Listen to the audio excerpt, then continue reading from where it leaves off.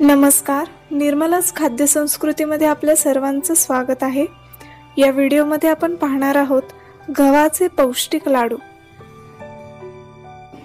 यासाठी आपल्याला लागणार आहे दोन वाटी गव्हाचे पीठ. इथं मी पीठ न चाळता घेतलेलं आहे. एक वाटी पिठी साखर. दोन मोठे चमचे बारीक रवा आणि दोन मोठे चमचे बेसनाचं पीठ. पाव चमचा वेलची पूड आणि बारीक चिरलेले थोडेसे बदाम. आणि अर्धा वाटी साजूक तूप. प्रथम कढईमध्ये थोडस तूप घेऊन ते गरम करायचं. तूप वितळलं की त्यामध्ये दोन मोठे चमचे रवा आणि दोन मोठे चमचे बेसनाचं पीठ घालायचं व ते खमंग भाजून घ्यायचं.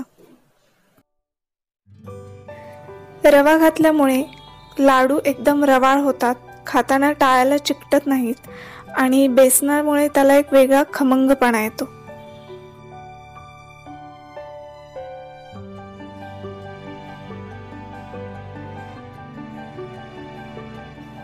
इथे रवा आणि बेसन व्यवस्थित भाजलं गेलंय आता यामध्ये आपण दोन वाटी गव्हाचे पीठ घालूयात.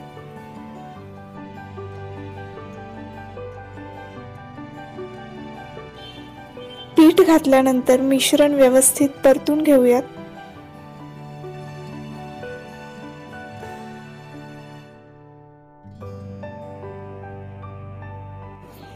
मिश्रण थोडं परतल्यावरती पुन्हा आपण थोडंसं तूप त्यामध्ये घालूयात.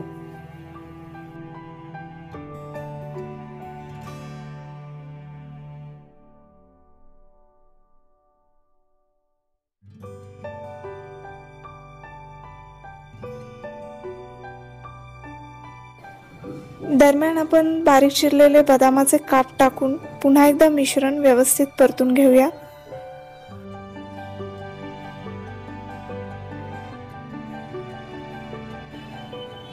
थोडंसं परतून झाल्यावरती मिश्रणामध्ये शिल्लक राहिलेलं सर्व तूप आपल्याला घालायचं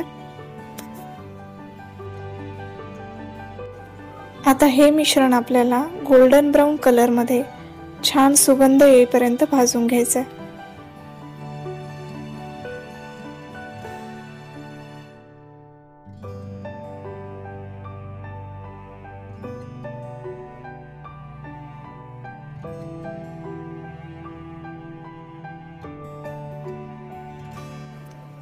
इथं आपलं मिश्रण परफेक्ट सोनेरी रंगामध्ये भाजून झालंय.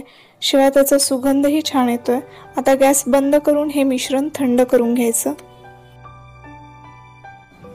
मिश्रण थंड झाल्यावरती यामध्ये पाव चमचा वेलची पूड आणि एक वाटी साखर मिसळून घ्यायची. मिश्रण एकदम कडक असताना जर त्यामध्ये साखर घातली तर ती वितळते आणि मग मिश्रण पातळ होतं. त्यामुळे शक्यतो मिश्रण कोमट किंवा थंड असतानाच त्यामध्ये साखर मिसळावी.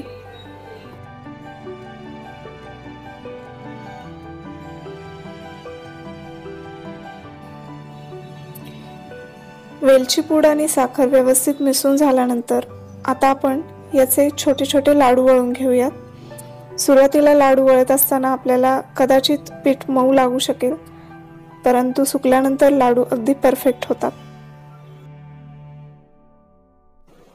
इथं आपले लाडू छान वळून तयार झालेत. याला थोडंसं आपण बदामाचं गार्निशिंग करूयात. करायला अतिशय सोपे घरातल्या सामानाने पटकन होणारे हे पौष्टिक लाडू नक्की करून पहा.